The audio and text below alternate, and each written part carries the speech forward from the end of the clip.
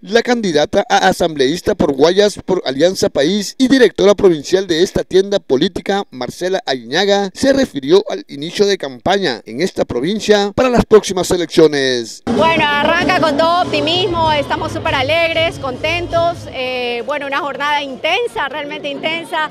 Hemos recorrido con todos los candidatos en una gran caravana, cada, candidato en, sus propios distritos y terminamos aquí en nuestra central, en Rumichaca y Padre Solano, con una, pues, un gran meeting con, con todos nuestros simpatizantes y por supuesto siempre eh, muy contentos de iniciar un nuevo periodo para acercarnos a la gente y conversar una vez más por nuestras propuestas. justamente se ha visto ese apoyo de todos los guayaquileños acá para los candidatos de Alianza País como siempre. Bueno, sí, evidentemente siempre es importante llegar, nosotros como Alianza País nunca nos eh, vamos del todo de los barrios, siempre estamos permanente haciendo nuestra acción política ahí.